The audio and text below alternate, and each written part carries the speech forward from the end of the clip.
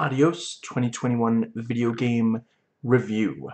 So, at the very start of this game, you find yourself face to face with a man that your character has had a long-term business relationship with that the protagonist has decided to end something clearly causing some friction between the two of them. I'm not sure I'm going to give away in this video exactly what the relationship is, and certainly not why it's coming to an end. If you want to know, it's very easy to find that information. Several of the stores, such as Epic and Steam, included in the spoiler-free video game description. This game is not so much about plot twists about, oh, I wonder if I can guess where this is going. You know where it's going from right away. And like a Greek tragedy, you're powerless as you watch it unfold before you. But where this sort of thing could easily have been a short film or perhaps a section of a movie, because it's a video game, it makes you feel like you are the one in that situation rather than just watching it, especially because it's first-person perspective, and you do have a little bit of freedom, so it has a stronger impact than if you were only watching it as a short film or a scene. The cel-shaded graphics are quite nicely done, especially some of the lighting. There's this... Um,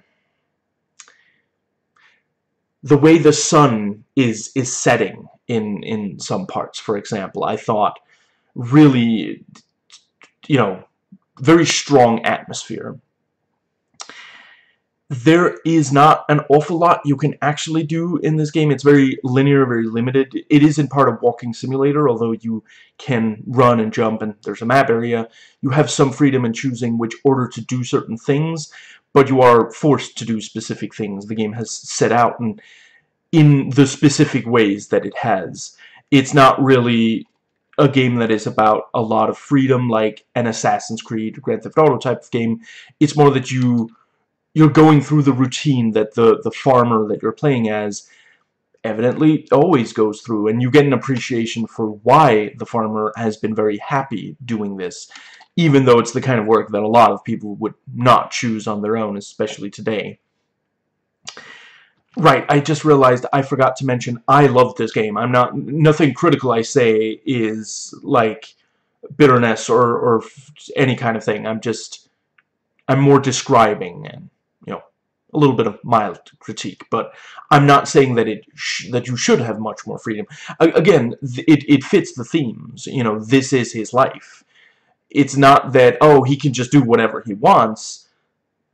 This is what he always does. This is how it goes, and yeah, you know, you can you really get why it's so positive for him, especially as we get to know him. You know, if not for the quite good voice acting and lines spoken, then, you know, yeah, it, it would, you know, I'm, I'm pretty sure there are, I, I haven't played any, but I'm pretty sure there are, like, farm work simulators where, yeah, you know, you're just doing it because the player thinks it might be fun to pretend to be a farmer.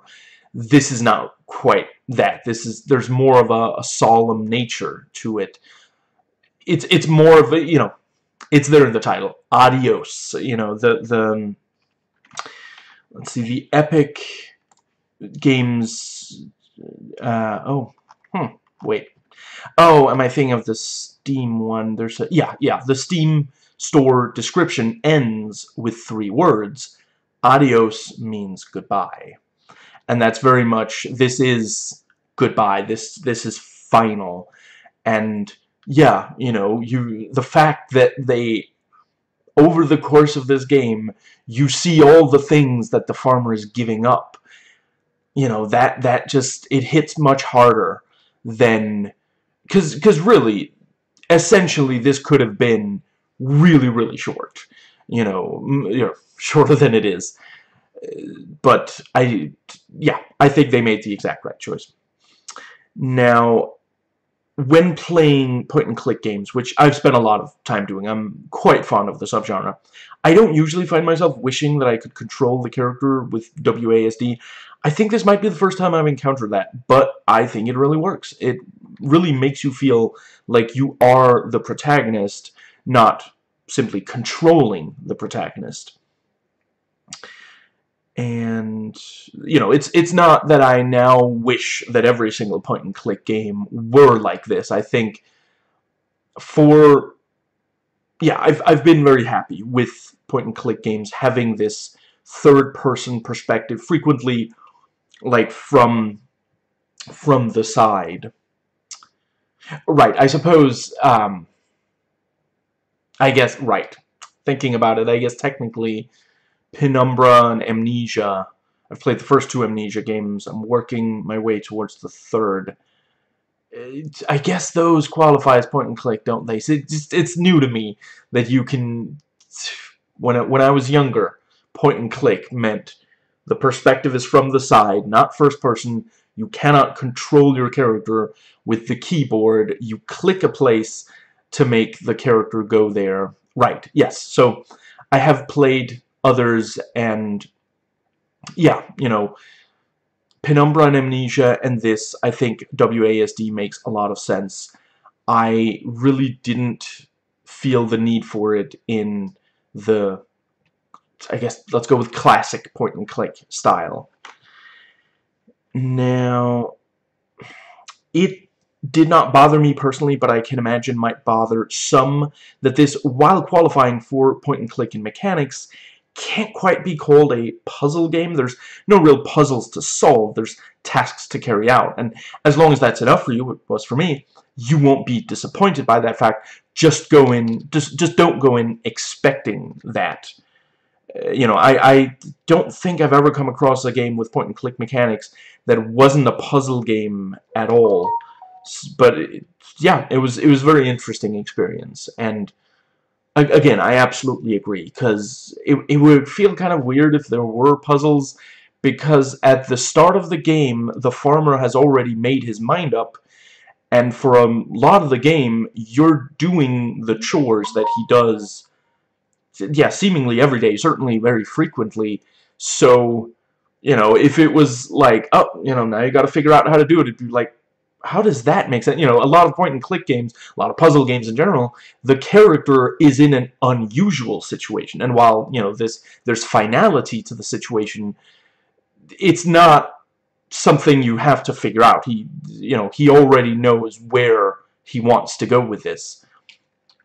And and again, I th I thought it was very interesting. I I'm not I haven't played a huge amount of games where the protagonist is in a situation that he's just 100% this is this is just what he does. You know usually you're applying skills that you've learned elsewhere to a new situation.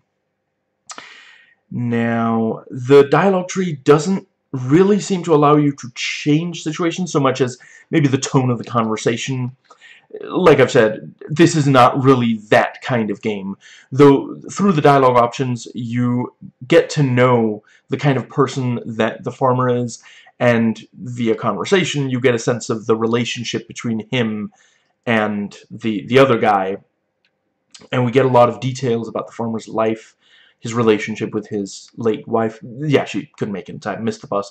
And you really come to understand how things ended up the way they did, why he's ending the relationship. They talk about his experiences with Vietnam, his youth, and given how short the game is, those who, unlike me, do not have any physical pain preventing them from sitting for longer, it, you know, you could easily complete this in a single sitting, and I would say that's probably a good way to do it if you're able to. I imagine that this it, it will probably play at least a little bit better than breaking it into multiple sittings, though it's not, you know, it didn't, I was still very, very happy with it. You know, obviously there are countless games out there that you cannot complete without taking at least some breaks. I think it's very intentional, and I agree with the decision, that this is as, as short as it is. So to detail, yeah, this took me just short of an hour and 20 minutes.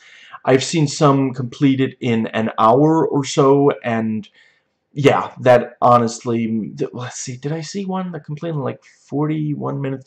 You know, I could see how you could shave it down some.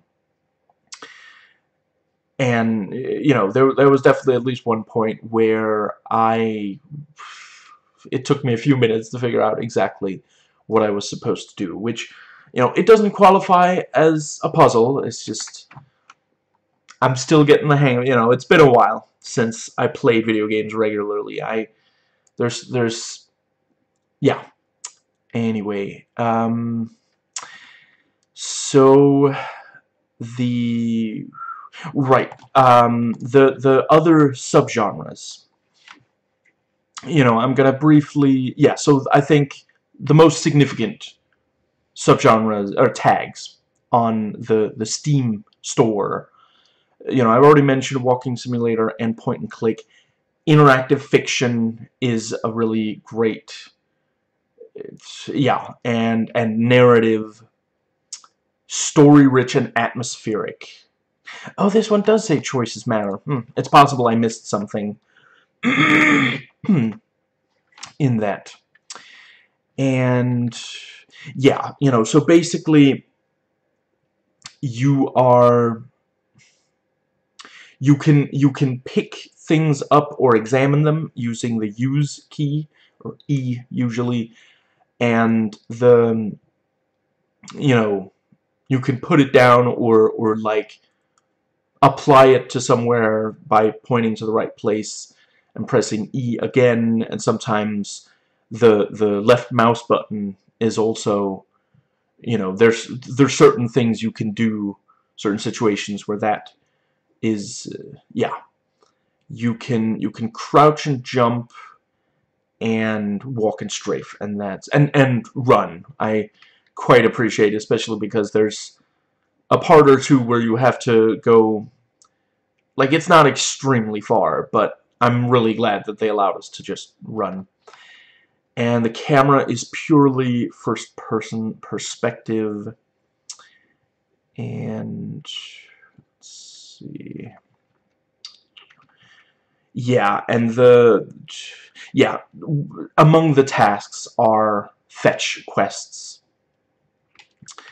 And it is let's see, it is very much the,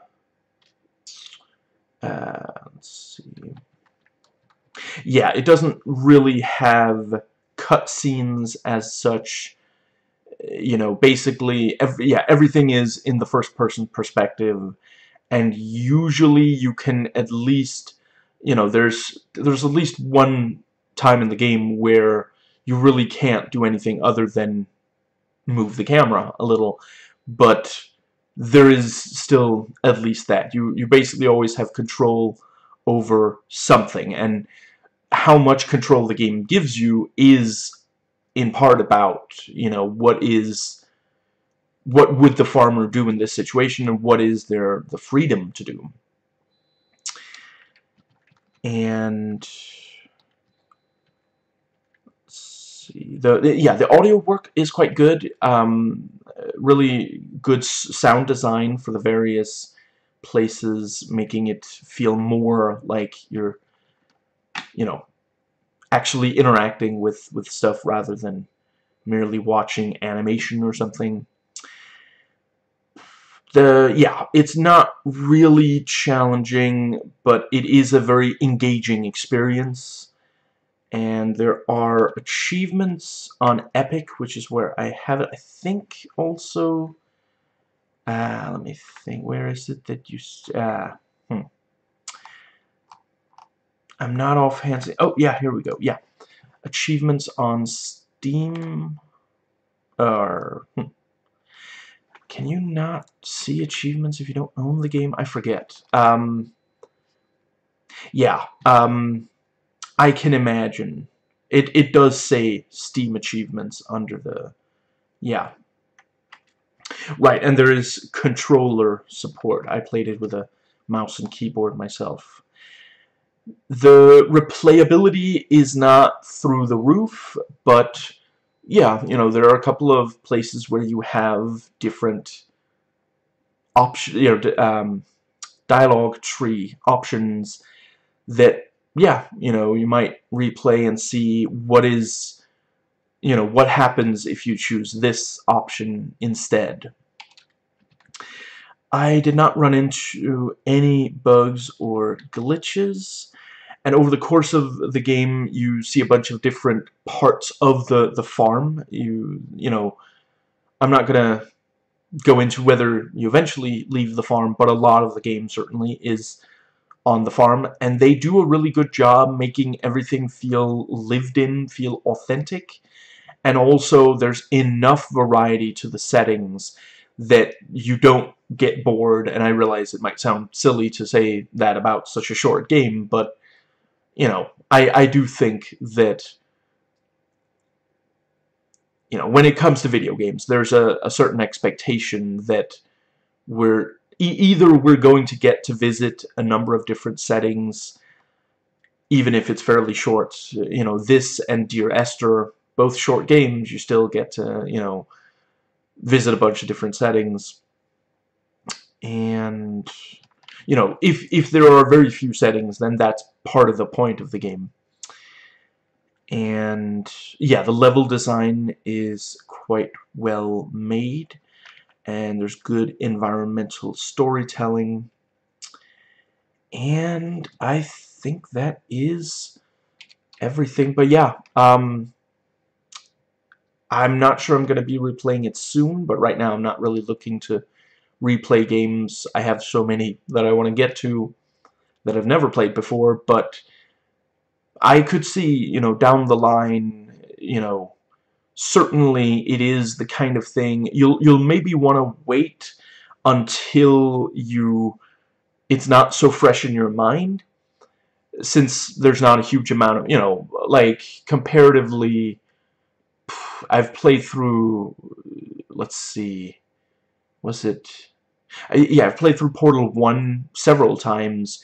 Didn't really need to, to like, not have it fresh in my mind. You know, that's maybe more because of the, the puzzles and such, you know, and just the, the satisfaction of solving puzzles. Here it's very much about the emotional engagement of the, the narrative, and yeah, for that reason, I would recommend, you know, it's the kind of thing where you'll want to not have it fresh in your mind before you replay it. And yeah, then there's definitely enjoyment to be had. And there's also one or more achievements that you simply cannot get in just one playthrough, at least as far as I've been able to tell.